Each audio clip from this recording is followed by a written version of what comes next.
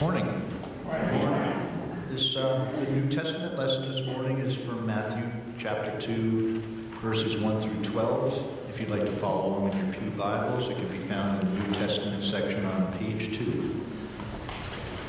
The visit of the wise men. In the time of King Herod, after Jesus was born in Bethlehem of Judea, wise men from the east came to Jerusalem asking, Where is the child who was born King of the Jews? For we observed his star at its rising and have come to pay him homage. When King Herod heard this, he was frightened, and all Jerusalem with him. And calling together all the chief priests and scribes of the people, he inquired of them where the Messiah was to be born. They told him, In Bethlehem of Judea, for so it has been written by the prophet. And you, Bethlehem, in the land of Judah, are by no means least among the rulers of Judah. For from you shall come a ruler who is to shepherd my people Israel. Then Herod secretly called for the wise men and learned from them the exact time when the star had appeared. Then he sent them to Bethlehem, saying, Go and search diligently for the child, and when you have found him, bring me word so that I may also go and pay him homage. When they had heard the king, they set out, and there ahead of them went the star that they had seen at its rising, until it stopped over the place where the child was. When they saw that the star had stopped, they were overwhelmed with joy. On entering the house, they saw the child with Mary his mother, and they knelt down and paid him homage. Then, opening their treasure chests, they offered him gifts of gold, frankincense, and myrrh. And having been warned in a dream not to return to Herod, they left their own country by another road. This ends today's reading. This is the story of the first Christmas, the night Jesus Christ was born. We celebrate this to remember the hope and joy that this tiny baby brought to the world on that extraordinary night in Bethlehem over 2,000 years ago. For Jesus' birth did bring hope and joy to the world. Hope because at that time there was much wrongdoing and fighting on the earth, and the people were looking for a sign from God that he would always be there to look after them. And joy because after many years of waiting, God had finally fulfilled his promise to send a man, a savior, a Messiah, to earth to go among the people and teach everybody his peaceful and loving ways. That man would be God's greatest gift to mankind, his son, Jesus Christ. To prepare the world for this man, God asked different men and women to prophesy or foretell that Jesus was coming. These people were called the prophets.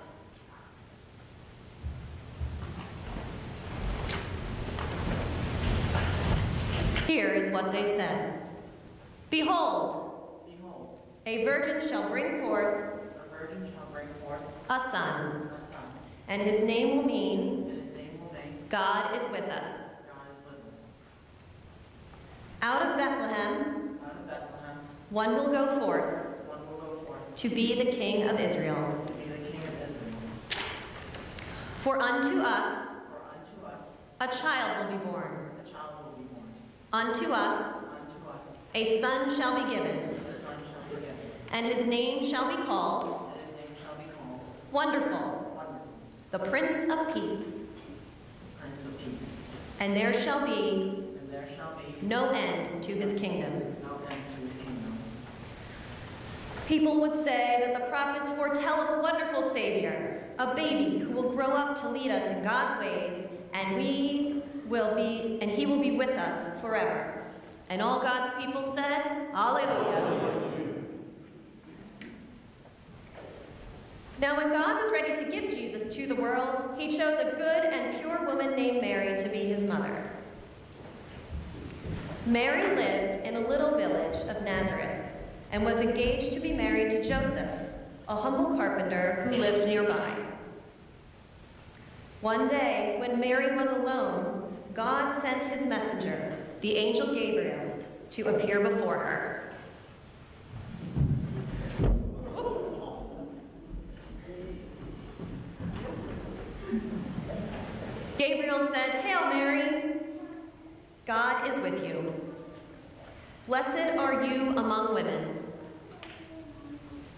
Mary was at first frightened and confused by this greeting of the angel of God. But then Gabriel told her that God had chosen her to give birth to Jesus.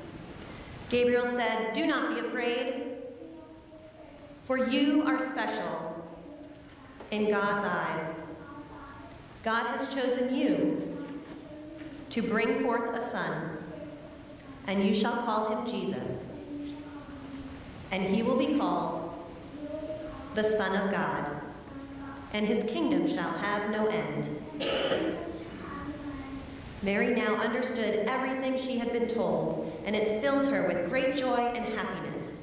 She replied to Gabriel, saying, I will happily carry out God's will. Not long after Gabriel had spoken to Mary, the angel appeared to Joseph one night as he slept. In Joseph's dream, the angel of the Lord told him of God's plan, saying, Joseph, God has chosen you to be the father of his son Jesus, and Mary will be his mother. When Joseph awoke, he went to Mary with joy in his heart. Both Mary and Joseph had heard that God's son would be coming, and they were overjoyed to be chosen by God to be his parents. And so Mary and Joseph went back to living their quiet lives, keeping God's secret only between themselves. Now, at that time, the land they lived in was ruled by the Romans, who were mighty but wicked rulers of an enormous empire. The chief ruler, a man named Caesar Augustus, was mean and greedy. He wanted to tax everyone in the land to raise money for himself and the Romans. So he issued a decree. Every man shall return to the place of his birth. That way, Caesar would know every person who lived in his country, so he could be taxed. And so Joseph and Mary left Nazareth to return to the small village of Bethlehem, about 90 miles away, where Joseph had been born. It was a difficult journey across the hot land, but after six long days and nights, they finally reached Bethlehem. By then, Mary was very tired and about to give birth.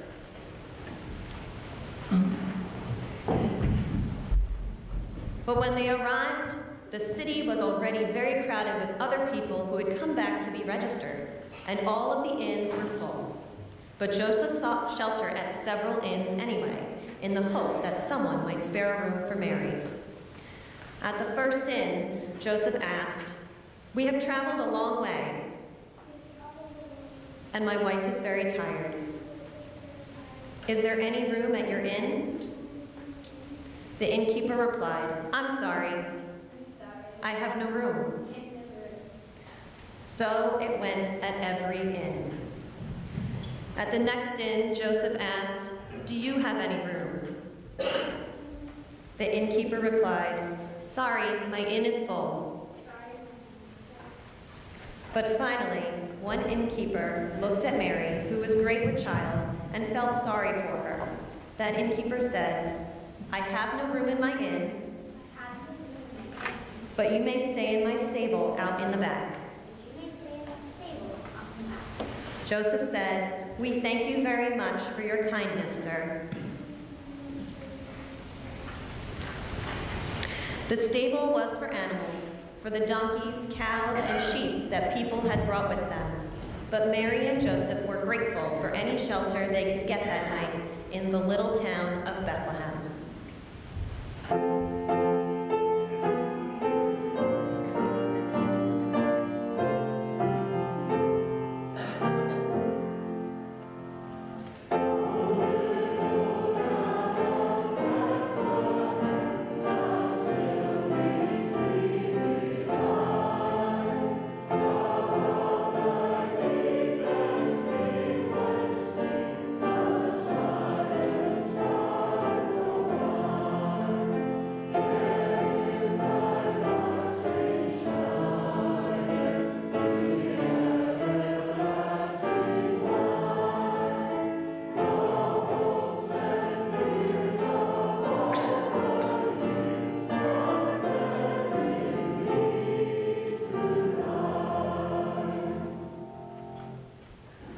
That night, Mary gave birth. Jesus was born.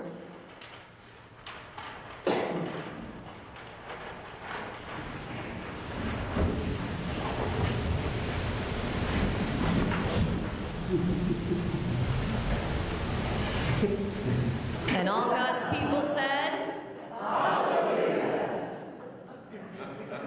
The Lord Jesus Christ, the King of Kings, the everlasting Prince of Peace, for he was called all these things, was born to a simple carpenter and his wife. And to make the baby Jesus comfortable, Mary wrapped him in swaddling, clean strips of white cloth, and laid him down gently in the soft hay in the manger, the animal's feeding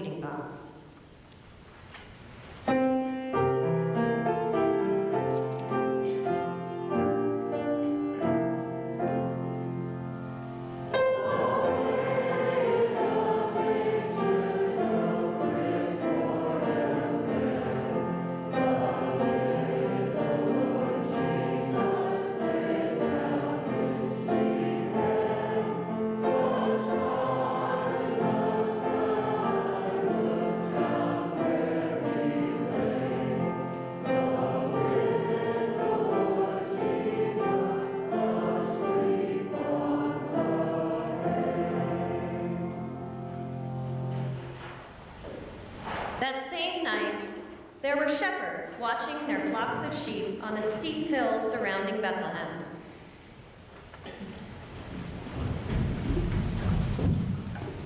The shepherds were poor men who wore rough, simple clothing. For them, nights were usually dark, cold, and lonely.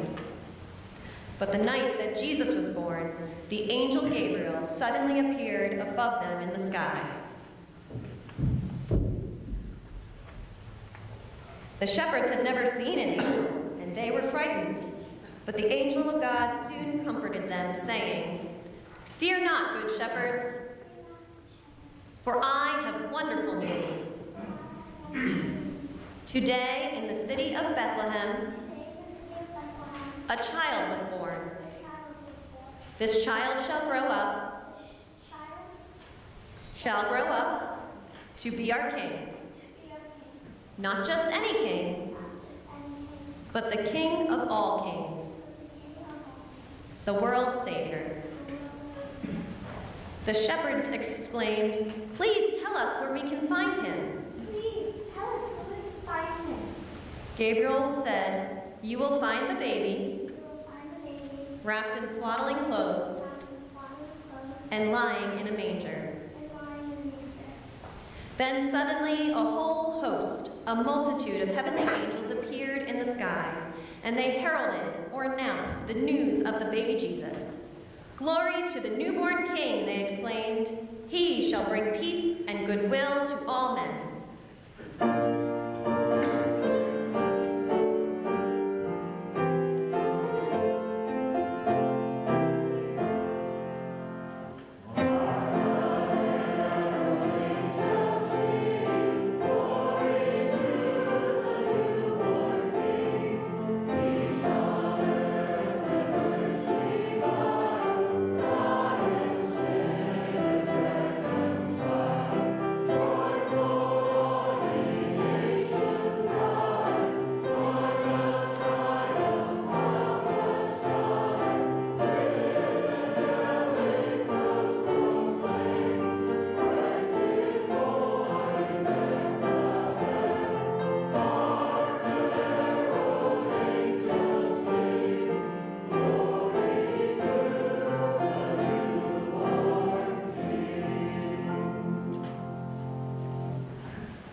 When the angels departed, the shepherds decided that they should go see the baby Jesus right away. They said, Let's go to Bethlehem. Let's see this wondrous child this wondrous child that God has told us about. The shepherds were the first to see and worship the baby Jesus. They searched their pockets for some gift they could give him. What have I to give this king? I am just a poor shepherd. If only we had riches to honor him by. Wait! We can offer him our faith. Faith and trust in Jesus were all that mattered to God.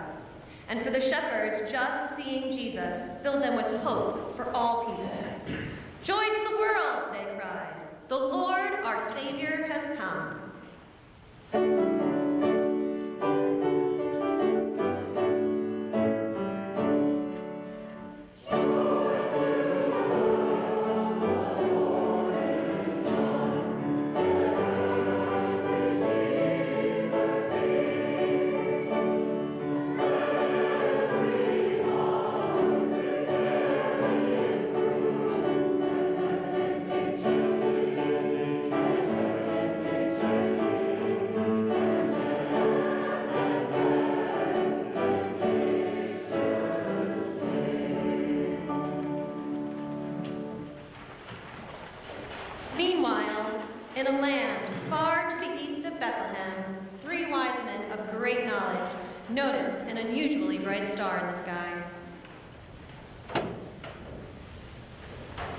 That star is amazing.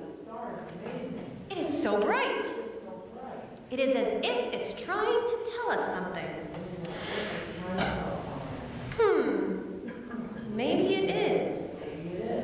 Could it be a sign that the Savior has come? The one that the prophets wrote of so long ago?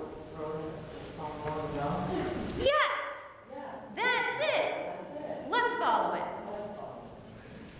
Upon their camels, the wise men, or magi, as they are now known, journeyed for several weeks, faithfully following the star shining brightly in the sky, until it stood over the little stable in Bethlehem where the holy infant lay.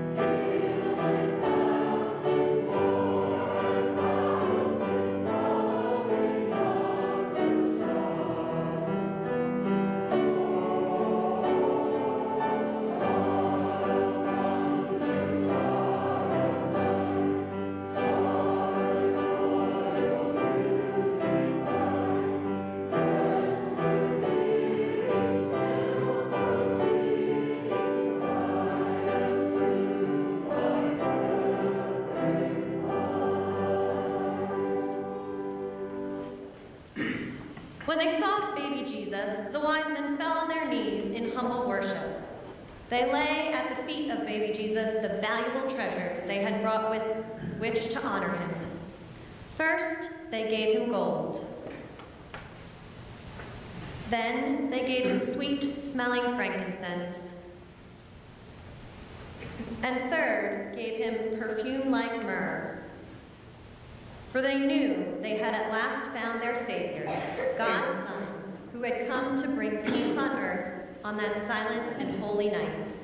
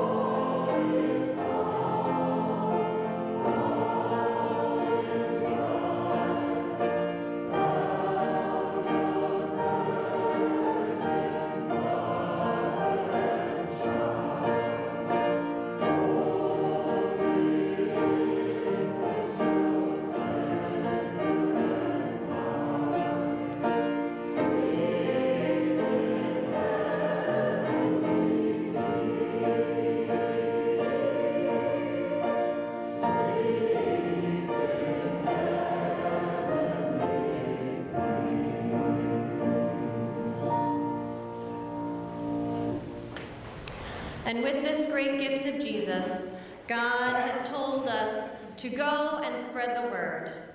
And that is the first story of Christmas.